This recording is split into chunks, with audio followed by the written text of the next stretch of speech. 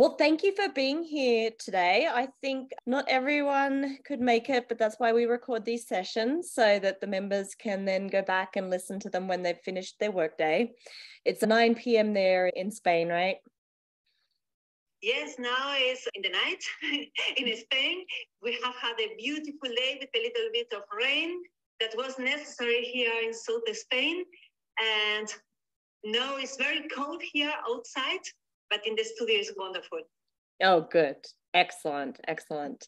So, do you want to introduce yourself to everybody? Yes, what can I say about me? First of all, my name is Esther, Esther Miranda, and I am a painter from Spain. I have been uh, living in Germany for almost seven years, and I have developed my uh, career my painter career uh, in Germany. And I actually worked mainly in Germany, not to in America, of course, it's nice. And some years ago, I decided uh, was the time to be back at home in Spain. And the light here is wonderful to paint in winter, in summer, and does make a big difference in life of a painter, the light. It really is. You hear those sort of comments from painters and the difference between painting in the north and then in the south of Europe really is different. Were you finding that the light was making the colors like cooler in Germany? What were you feeling? I feel that this is a question that the gallerist make me one time because he asked me, why are you so colorful? And I told him, and so colorful because here winter is very grow, grow. We don't have too many hours of light, and the color are not so brilliant like in South Europa, like in Spain, mm-hmm. and especially in Andalusia. And I need the color of the sun. For this, as I don't have it, I need to bring to my paintings. This is why I need the color and the good feelings and bring the uh, i think that like a painter sometimes you bring to the paintings the thing that you are missing mm. and i was hmm. missing the light of the suit so i start to paint especially with a very strong um, interest in light and in color because it was something that many days uh, felt me in germany Gosh, that is so interesting. And we have another painter here, Marilyn, and I know she is so very focused on color and light. Please feel free, Marilyn, if you do have questions as well or you want to share anything to join in. Great. yeah, uh, that is so interesting. And these little insights, hearing this, I mean, you would never uh, think of that if you're not a painter and you're perhaps haven't seen the difference in light living in two different areas and maybe people have lived in two different areas but they're not tuned in in the same way a painter might be to really know that that's what they're responding to. I find that um, we have different ways to see the things. Before i was a painter i was a philosophy teacher. Yes. and my way to see the thing was different. No, is uh, the feeling is that I see more color in the same color that I saw years before. So it's a it's a different uh, way to look. It's a different view. It's a different attention.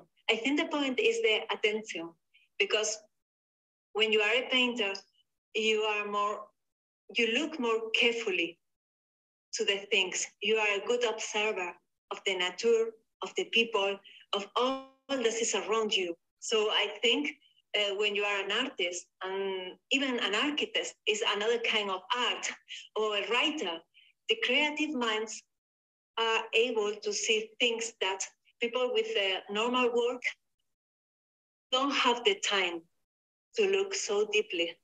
This is my point. Perhaps another artist is different, but I think in myself has been a change years, mm. a lot of mm. years ago, of course. I think that's a very uh, astute observation. And in this membership, we've spoken about slowing down to really see. And a lot of what we've been talking about is, well, how do you see? And I think that is the gift that strong paintings bring to us is that time and observation that you have spent bringing the way of seeing as a visual language to people who don't have the time or to allow them to see things in different ways. It's a very powerful way of communicating. Yes, I think you are right. And even uh, when I paint, I make it for myself always. But mm. the most interesting thing that I have found when I paint is that after I have painted, people can connect and can feel what I has been feeling while I was painting. And when I paint, the time is uh, stop it. It's not time. Mm. It's like a space, uh, time without time, and it's really a very deep moment, very deep concentration. And the most interesting happened me when uh, one of my collector um, told me one day that when he be, he came back at home after a very busy day working and came to the place where he sit with the sofa. Yeah. Um, and see my painting. He said, immediately I feel peace. I feel so quiet. Hmm. Everything is outside, and I am absolutely relaxed uh, looking at the painting that you have painted. And I have a very special connection, not with you, because I am not talking to you, but with myself.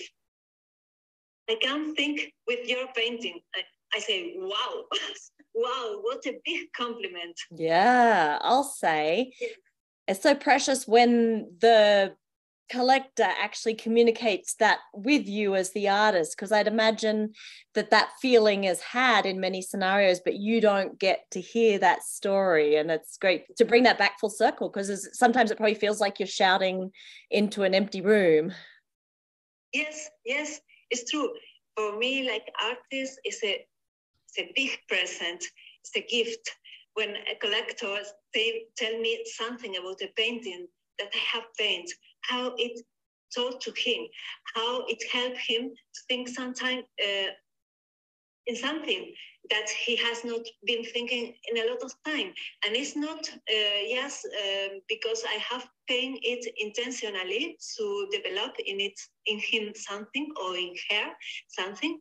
It's just that it's like a room, a room uh, without loud, without sound, uh, with silence. When somebody uh, go and cook and look to a painting and feel, okay, I am alone, I am by myself with my thoughts. And that's when I, I, I found I found then that the connection, the communication was right, was in both sides. I have a mm. lot, you have a lot. Mm. It's nice. Yeah. Oh, that is beautiful.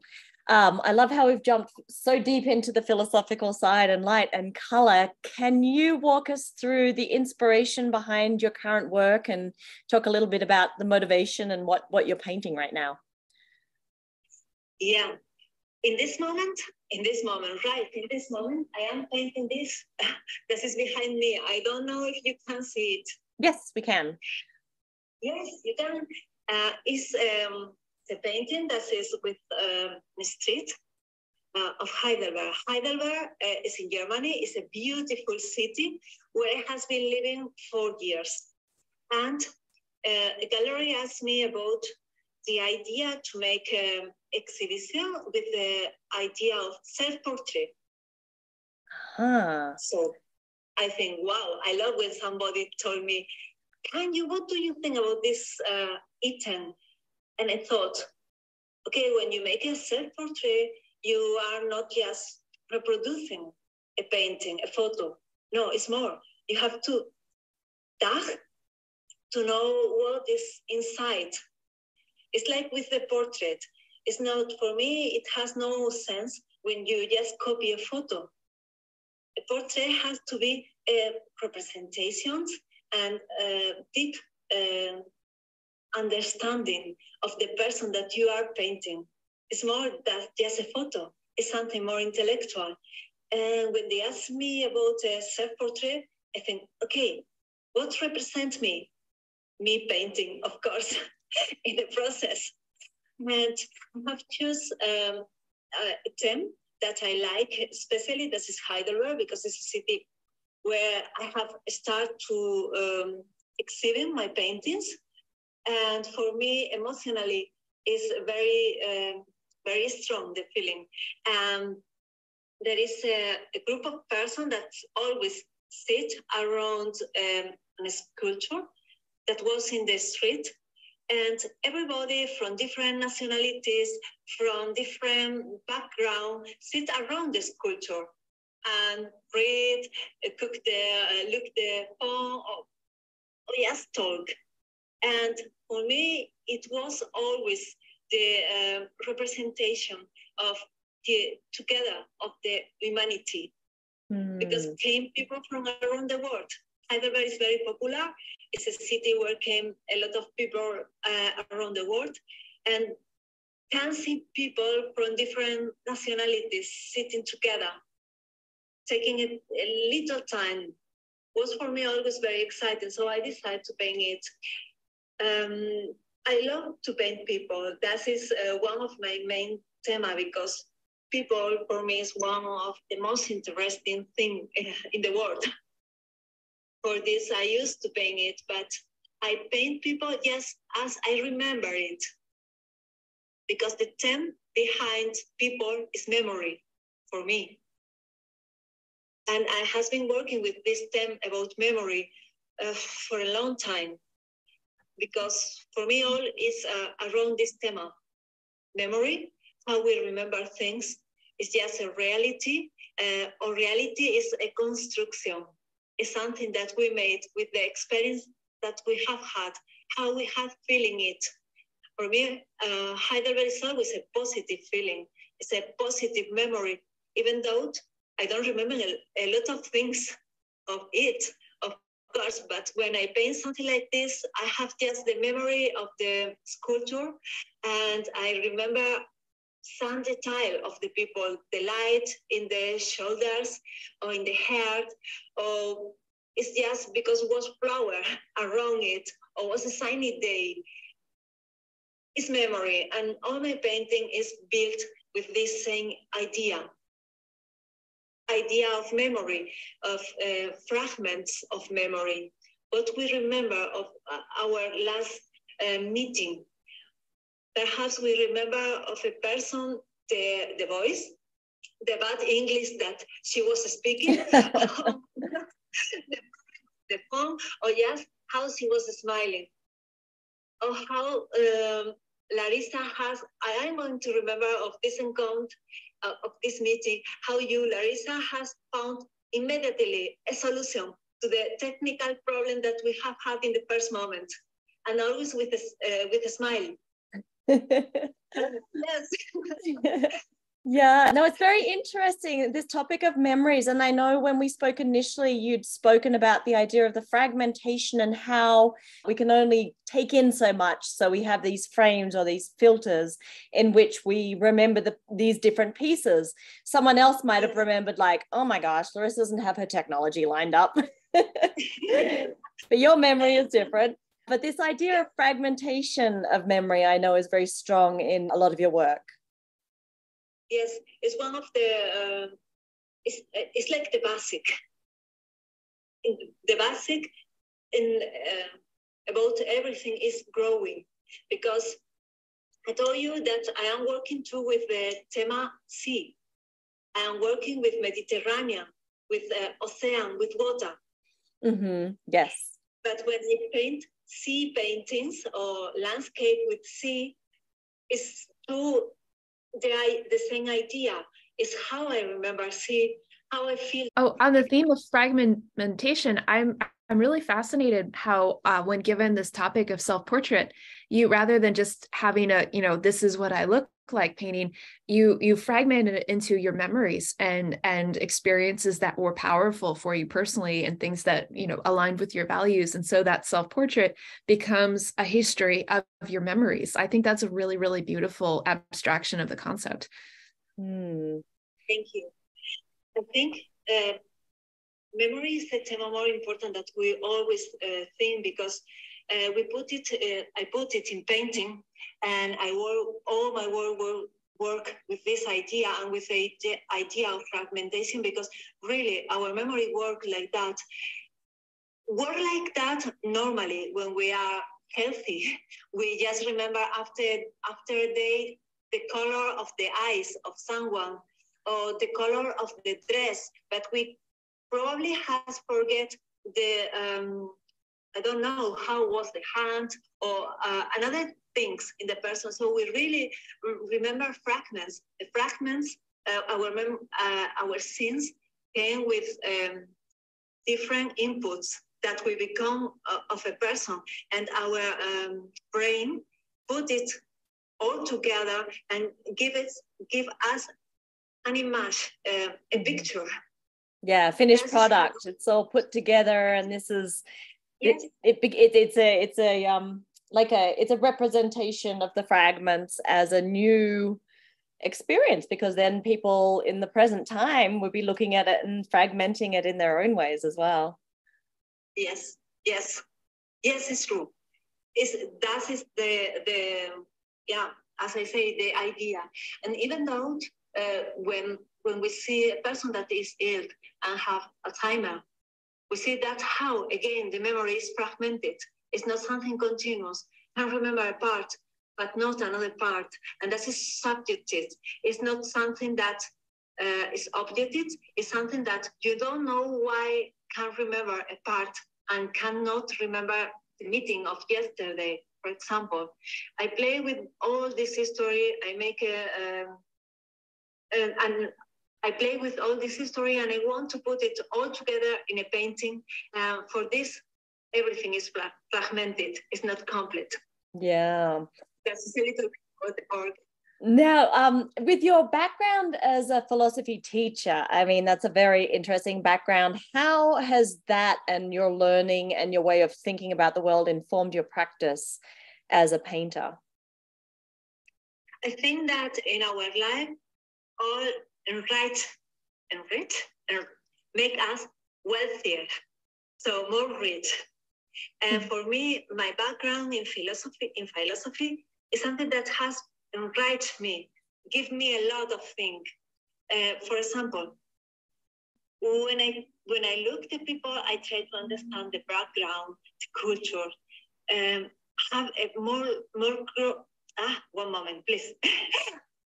the tongue yeah. something extreme. I think I know what you're saying, like a more global vision of human nature yes. that yes. is outside of culture. Yes, that is the this is just what I, uh, what I want to say. The, um, the thinking is more global, and I understand probably deeply uh, the culture because I take valor value of all different culture and I find the beauty of the art of every culture. And the art is literature, is painting, is philosophy, is everything, is the music too.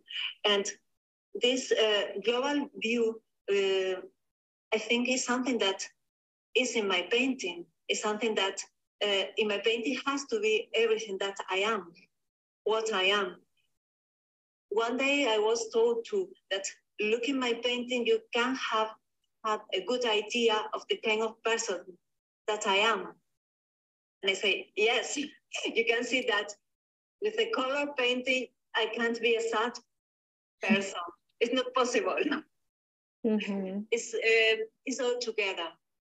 My background to uh, teach me that nothing is completely definitive and that you have to be very critical with your own work because everything has to be developed improve, be better, because you can't be happy with the first thing that you make. So be a philosopher, teacher first, make me more um, strict with my work, more, um, yes, more hard.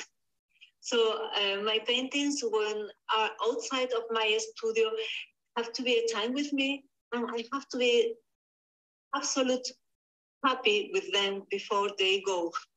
And always looking for new solution, new themes, uh, improve uh, the things that they think, okay, but what happens if I make this? what could happen if I change this. Philosophy teach me you can stop. It's not allowed. You have to go far. And far means be a better painter. Be the better painter that you can be. And that's, I suppose, is for the long, uh, as long as my life. So yeah. this is what i can say. This is the, the, the important the most important thing that philosophy teach me. What a great thing because what i really notice in artists that i consider to be the best is that they're always searching always questioning always how could this be better? How could i improve the language whether it's painting or writing or music yes. and yes. it's it's in that search the constant looking and questioning and searching or you happen to end up with some some products of the paintings but it's the search that's kind of the the leader right yes yes mm. absolutely and i think that when you are an artist in any camp in any field in any field when you are an artist you have to be you have to be open to the reality that is happening in that moment in the world because you can't be closed like in a monastery or something like that. You have to be open to the world. You have to let, allow the thing that is happening outside came to you and you give them an interpretation okay. in the of the art. When came the time of COVID, of the pandemic, in the first moment, my first feeling was blocked. And later I said, no, I can't be blocked I have to make things as they came. And I have to take the thing as they came.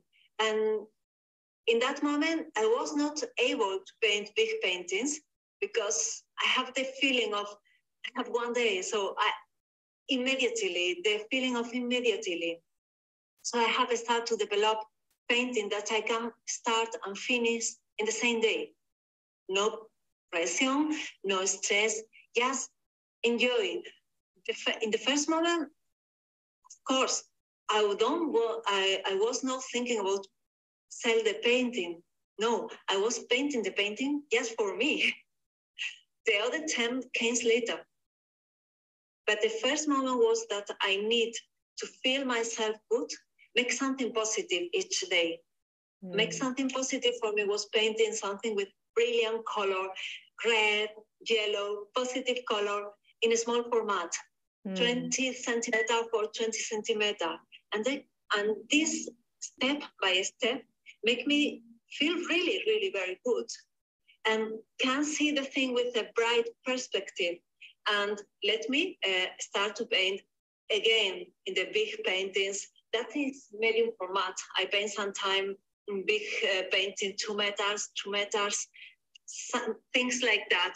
But in the first moment, when came the shock, the shock, everybody need to stop, think about the life, rethinking, and rebuild themselves.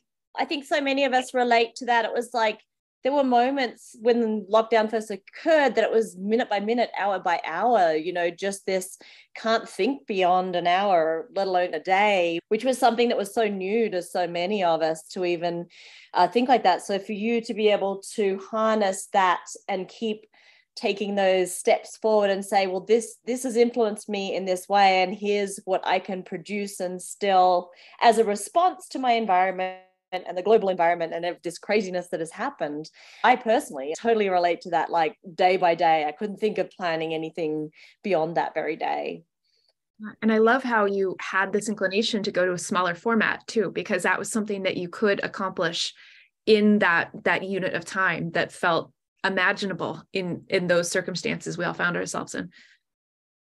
Have you ever or have you thought of exhibiting some of your written works that had to do with what you know about philosophy and what you've taught in combination with the paintings and some of your exhibits? No, because um, different language. And sometimes, of course, when I am thinking about a philosophical theme, uh, like, I, I don't know what means uh, human being, uh, how we, uh, where, where do we go, which is the direction of the humanity, or what are we doing with this emergency? Of course, all of these are philosophical terms that actually all of us are related to. Of course, there is more old philosophical term. This is the philosophical term of the of always, as I say, ethical, political, uh, metaphysic. But no, I never have think to to write something, for example, in, in a painting, or to put a title in a painting that is related with a philosophical book or thinking. No, because it's, mm, it's like uh, another language. When I have I start to paint, it's because I have the feeling in philosophy. Uh, there is thing that you can say with word. There is thing that is necessary to have the intuition. Intuitions, yes. Mm. And I have the feeling, I have had the feeling that some of the most important thing was not possible. I was not able to say it with words because it's something that we have the intuitions. It's something that we can communicate with music more easily or with a picture. Hmm. And when I want to talk about humanity, for example, for me it's more easy to paint something that is related with what means an human being, what is the essential of the humanity. Uh, for me, it's more easy to communicate something without words, just that we connect with a feeling, that with words. For this, no, I, I'm not interested to mix these two kind of words because for me are two words, two words that sometimes is together. As I say, with the term of memory, this is two philosophical tema, the idea of memory and the idea of the uh, construction of the reality. This is one of the basic of the philosophical tema and was especially important in the 20th century. But it's not something that I want to put names uh, because I don't want that someone have to know about philosophy to have the connection. I want a more directly connection. And the language that everybody understands around the world is color, form, and something that is not color, not form, it's just the um, complete painting. Wonder then if you have an opinion about the pressure artists are under to have written statements that are pretty evolved that are supposed to enrich the viewer's experience of their painted works. Yeah, we can hear you, but I think because she's going like through a few different speakers. Sure, yeah. sure. So Marilyn's asking what your thoughts are on the pressure, the way that artists are expected to write statements about their work and their pieces and how sometimes those are actually stronger than the works themselves i think is maybe part of that too is it do, did i capture that marilyn well more that i feel like if the work falls short that's there seems to be a bit of a pass for yeah. that as long as you know the artist can articulate you know almost fill in the gaps for a, a work that isn't great necessarily with a strong written statement and that the written statement doesn't necessarily um, line up with what the work is emitting that you know what that work feels like or the people you know the viewers are interpreting mm, what can i say you? When i I have a really a very short statement because I like the idea that the painting talk for me without words. But in any case, you are right. When you say sometimes it's necessary uh, can say something for help people understand what um, is behind the painting that they are seeing. And sometimes people is asking me oh you are always painting people uh, people in different situations people together uh, and why are you painting now two sea paintings why are you painting now the sea and i say for me it's absolutely relate in the meaning that is something that I am especially worried about is the um, um, climate, the problem of the climate catastrophic. Uh, here in Spain, we have a very, uh, very big problem, especially in South Spain, with the rain. There is no rain. We don't have water. And this make me have the feeling to to have to paint something that represent it, uh, linking to the idea of memory. And Marilyn, you have to, to know, like me, like painter, uh, painters, when we paint, we always make a kind of self-portrait. And when I paint uh, sea painting, I am uh, painting to a little bit self-portrait in the meaning that is paint, I am painting something that is relevant for me. This is something that is in my head uh, very strong. The theme of water, the, the tema of problem. How can we clean oceans? How can we clean um, uh, the water of the river that is contaminated? How can we make uh, stop all this problem that we have with climate change? But again, the tema is who am I? I am a Mediterranean girl. So Mediterranean is this the sea that is um, border my my side of Spain. Mediterranean Sea is Spain, France, Italy. So Morocco is all a beautiful uh, area that is linking to our culture, the Mediterranean culture, the way to life, the um, the way we are relate and is in, in, in our ADN, so in our uh, chromosome. DNA, yeah. Uh, yeah. So I hope you can see it. And of course, I have to paint what touched me in each moment.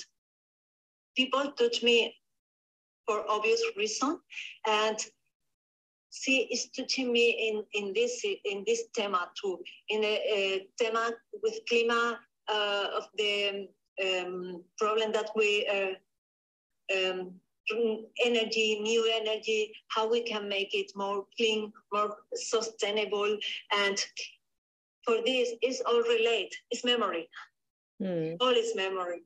And, and landscape. Yes? Oh, were you going to say something, Sarah? Yeah, I was going to say something I really love about your sea paintings is that they reflect your your concern about the climate change emergency but they also they're they're like a, a, a you know a love offering to the ocean that it's not a, a, negative depiction of the ocean being unhealthy it's it's this beautiful manifestation of of how the water can be and should be. And so i really like the art that is being created uh, in response to to climate change is a topic that really interests me personally and that i follow and something that i myself personally feel out of alignment for with a lot of the art that i see on this topic is that it it's very much consumed with the grief and consumed with the uh, ac- accurate reflection of of just how harmed things are. And so I, what I particularly love about your your series is that it's rooted in your love and this manifesting this vision of healthy water and so i really align with that personally so so thank you for creating those paintings mm. oh thank you thank you very much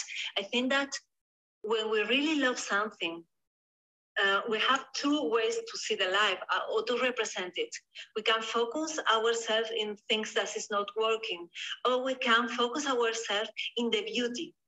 And the beauty for me is the answer. I think that when we see how beautiful is the sea, how beautiful is the clean water, we, we have the feeling that we have to protect it. Mm-hmm. And I really don't want to have something that uh, have uh, I don't know rabbits on the on the uh, sand on the beach. No, I, I don't want to see uh, dirty things. I want to remember that it's beautiful and beauty is something that is related with ethic. Ethic, ethic, and um, aesthetic is very, very close. Hmm. Oh, that's and a great. This is one of my tips. And for this, I am always focusing myself in the positive things. I think it's more powerful when we talk about beauty that when we talk about disaster. Because when we talk about beauty, all of our connect has a beautiful feeling of we have something sacred. Sacred? Yes. Haley. Sacred, Haley? yes. Sacred. Sacred, yeah. So it's, it's a different way uh, to connect. That is my feeling. Of course, there is wonderful uh, artists that um, focus it in the other ways and make masterpiece. For example, Goya, the Spanish painter, with his uh, dark painting that is so terrible and used to critic something that was wrong.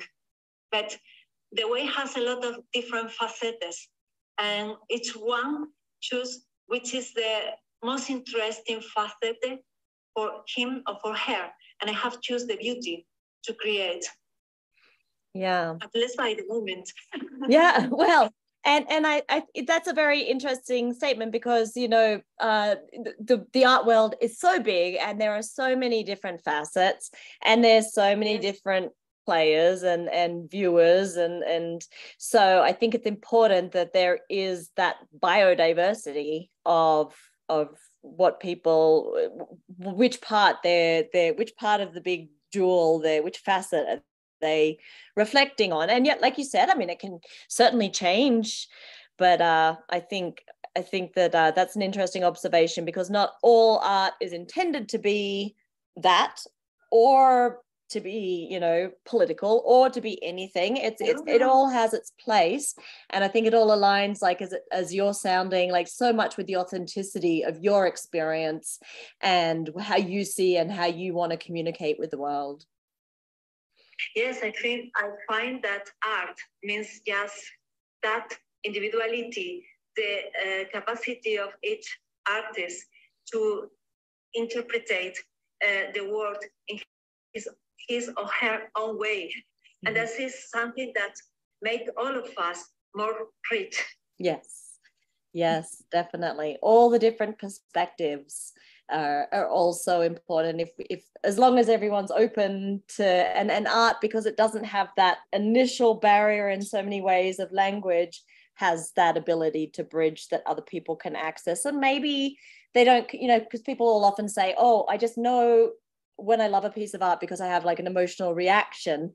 That yes. you know that is a first first level which is you know ideally what all artists would like have happen, but it's got to reach the right niche, the right people in the right way um, who yeah. are going to respond that way. And there needs to be something for everybody.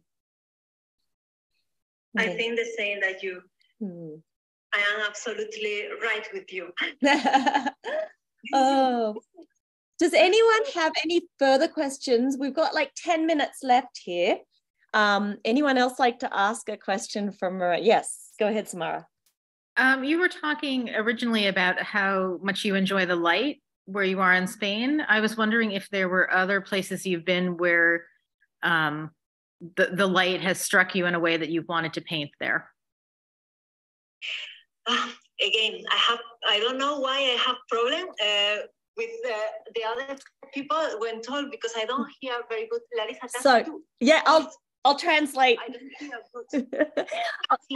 so, so Samara's asking. She found it. She really liked the way that you were drawn to the light in your part in the south of Spain. Are there other places you visited where you were intrigued by the light in in its different forms?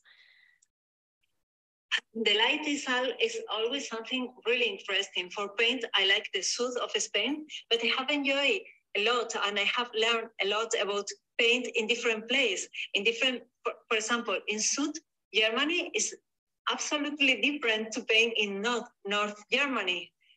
The light is completely different. And the feeling that you have with the light is something that you put in the painting. It's not something that is um, thought or program. It's something that appear.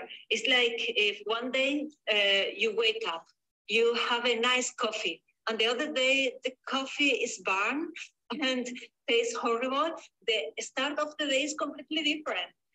In the day, you are uh, making everything different, but the feeling, how you start, is different. The feeling when you have here in Spain a sunny day is completely different than when you have a gray day. I was kind of wondering, Larissa, about like if she had a favorite, other favorite places. Yeah, uh, yeah. yeah. Do Do you have other favorite places with light? I really like playing with light. so I have um, the feeling to paint for paint here is is a really very good one. But I think that each place give you a different perspective, and like artists, to have the opportunity to have different experience and paint in different place is something that um, prove yourself and make you feel different things. And this is always interesting.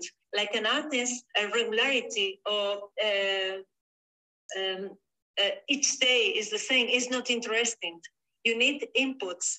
You need things that make you feel different. When you change your studio, your atelier, uh, it's always um, you make always the new place a little bit your place, even though you are going to be uh, painting there just two months, for example, because you are in a residence or you are um, uh, I don't know keeping uh, the atelier of a friend that came to your atelier to paint and you decide you go to the north to paint something different because you want to have the experience. So every experience with light for me is interesting and helps you to see things differently.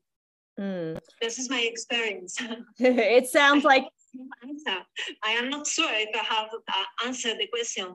Well, it sounds it sounds what I'm what I'm hearing is that while you enjoy and and the experience of the light in all these different places is your heart and you just really like the light where you are in the south of Spain. Yes, but it's interesting to the, to to have the experience in different place.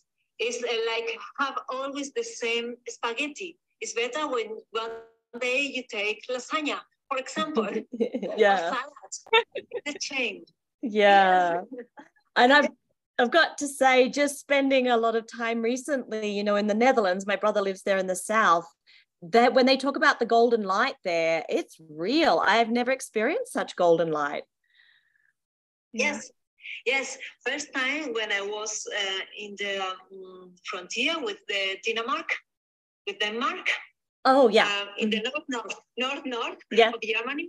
I was in the first moment absolute astonished with the light because the color of the grand uh, sunrise was so absolutely amazing, so different from here that it gave me a lot of um, inspiration and light because I always look how the nature combines, uh, change the color, put the color together. I think nature is the big master mm-hmm. for a painter to know how uh, colors work together and always look to the sky is a very good idea and look how change the light yeah, yeah, always changing, always different, but somehow in specific geographic areas with the wavelength and the positioning, there is a general feeling, even though that within itself changes. Yeah your your insights, uh, Esther, remind me of a story I read years ago. So I'm probably fuzzy on the details, but Anne Truitt, who was a sculptor based uh, near where I live, near Washington D.C., she had a residency, and I think it was Japan. And so she built a sculpture and she custom mixed the colors, and then she shipped it back home to D.C. And it was totally wrong because she had chosen the colors for the light in I think it was Japan and the, the color mm, you know temperature was so different there and so she wrote about it and how specific the experience of that sculpture was to the light where she made it and so what you're you're saying really reminds me of that story which I've always loved.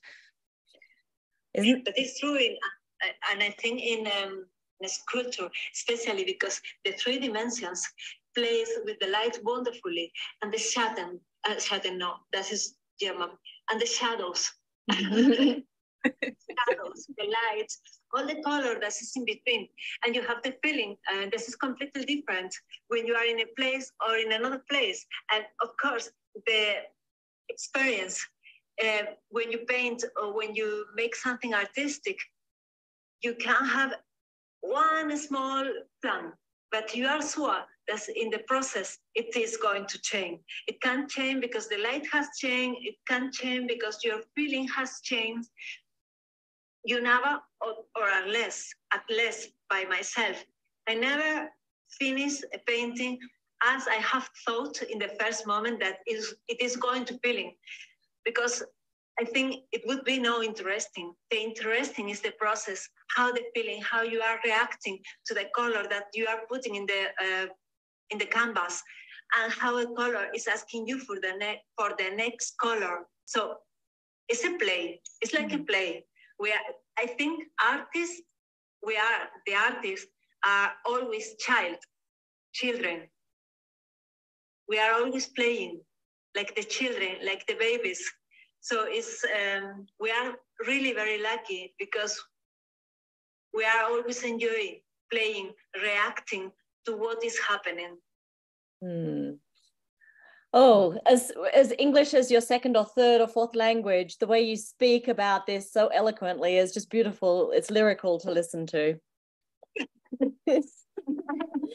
My English is quite limited, so I try No. to look the way that you can understand me. I know I have to improve a little bit, but this in the in the good uh, list of the things for 2023.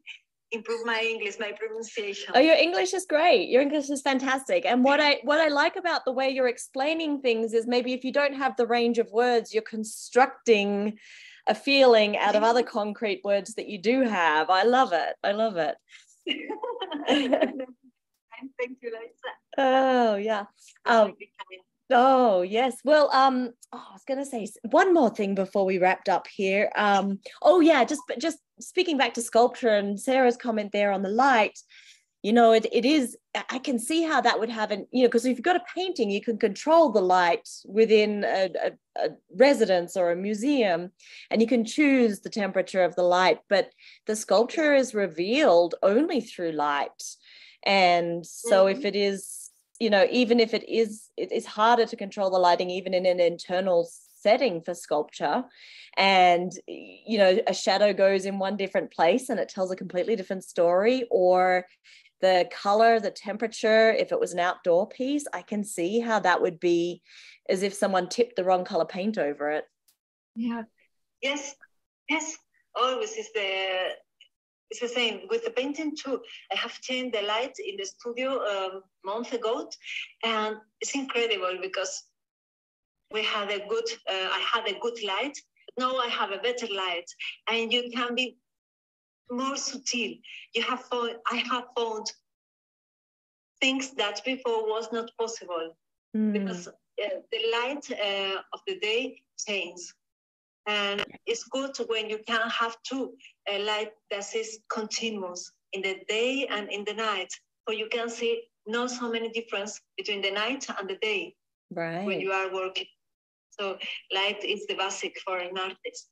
yeah I think all of all the artists. Uh, I think it's a tema uh, that all all of us, all the artists, is in common the importance of the light to paint and to to see what rebel or what we don't want to be rebelled.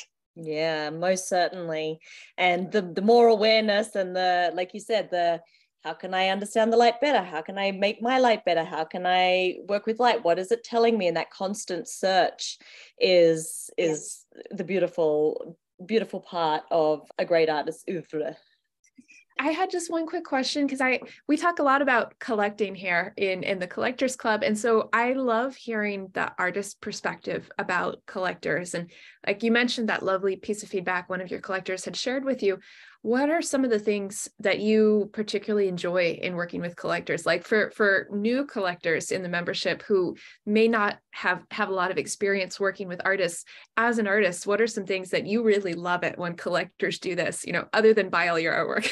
So are there certain you know traits or certain behaviors that are really appreciated from from the perspective of the artist side of things?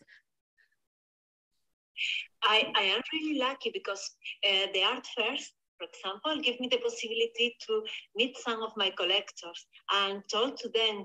And I always hear what he, what uh, what they have to say, what they want to know, and it's something that go in two directions. It's not that I paint uh, what the collector wants to. It's just um, the my collector are so interesting that they tell me, I love your work. I would like something in this direction. What could you make? Freedom. Of course, please, Esther, freedom. Even when I have been commissioned for make a portrait, they always want uh, from me uh, fr- freedom so that I can paint what I want. And sometimes talk to the collector, know what they are collecting, which, which uh, are the other artists that they are collecting. And even sometimes I was so lucky that I was invited uh, to visit uh, the collection, to visit the, the place where uh, mm, where my painting is hanging together with the other artists. Some of them are a college that I admire very deep. So it's a big surprise when uh, when I think uh, or when I see one of my paintings together with someone that I say, wow, he's mm-hmm. so good, or she's so incredible, or can uh, see how uh, an sculpture pass together, work together with the painting and see the space. Because uh, the space creates an, an atmosphere that has to reflect who is the collector. And when you see which are the painting that they are um, buying, that they are collecting, you can have a very good idea who is this person, which are they, uh, his interests or her interests, what is behind. And I have had really very, very interesting uh, conversation with my collector. And the best of all, usually not about money, always about art. And that is something that both of us are always with a smiling, ending the conversation and speaking about actual painter, um, old painter, old master, and that is really interesting for me. Collector is something like in all the history of the art, it's a very important part of the of the art because what could we have made without the uh, I don't know with the um, collector in uh, Italy, for mm. example. Yes. We are really very lucky that they have commissioned work to Michelangelo, to uh, all the big artists, all the big names. Thanks to this collector, we are so lucky to have this big patrimony of the humanity now with us. We, of course, uh, need them not to create, but for live. so yeah. No, it's true. And I, I think I've spoken about before this triangle where the artist, the dealer, and the client are all equally as important and all influential. Yes. And so that speaks perfectly to that because a lot of newer collectors can be intimidated like, oh, what should I like? Or, you know, should I be following this trend or that trend? Whereas they don't realize the power they have that in supporting artists that they believe in and uh, yes. react to, yes that they are influencing us strongly as the artists creating the work because they're allow enabling you to be able to keep creating. Yes, I have read um, one story about a couple in in the state. In the state, in the 60 years, a couple of people that was working for the post. For, um, they are uh, normal people with a normal salary, and they have started to collect small things but they have so good eye that they have uh, had one of the best collection in America. Mm-hmm. And they have mm-hmm. donated after they pass, uh, they have donated, I don't remember who, which museum, but they have such an incredible piece of art, a lot. They live in a small uh, house, but they have both all the things that they love. They mm. have made something absolutely incredible because they are now dead. They know they are not living longer. But in the museum, there is a plaque with their name and they're thankful for all the good painter, uh, good, good paintings that they have uh, bought and uh, give uh, like a present to all the American that visit that museum. Mm, beautiful. And a lot of people have enjoying it. Now, I don't remember the name of this couple, but when I read the story, for me was absolutely incredible how people uh, with not a big fortune can be so important in the life of a lot of people. Yeah. Not just because they bought to uh, Andy Warhol or Basquiat or one of the big big name of the sense on, on the 60s, but because they bought it because they love it, because this art represents them not because they want to sell them to mm-hmm. be rich. No, yes, because these are talk about themselves mm-hmm. to the collector, not the artist. So I like this story because I think, wow, it's amazing when people make uh, this kind of thing. Can you imagine how many good museums we can have with interesting art? Yes. So, oh, yes. Amen to that. That and, and that's what we are hoping and doing with our membership is is sharing that possibility you know that it's you don't have to be um, you don't have to be somebody with millions and billions of dollars you can be someone who is intentional and cares and even if you're just influencing the people around you just having this these kinds of conversations we can allow the art world to be more accessible and more meaningful to more people. Yes this is great because even though when you don't think about uh, donate it after you pass through a museum the painting that you buy is with you all the life. You can change all the decoration at home but this painting or this sculpture that you have choose is a part of your life it's experience mm-hmm. it's a part of who you are who you mm-hmm. was and who you are going to be so it's something that is around the life so yeah Beautiful. Well, thank you so much for being here with us today, Esther. Larissa, it was a pleasure. Yeah, and I'm sure that a lot of people a lot of people will enjoy the conversation in the recorded version as well. So thank you. Mm, thank you for thank inviting you. me to this conversation. I have enjoyed a lot to talk to you, yeah. to all people that was asking me.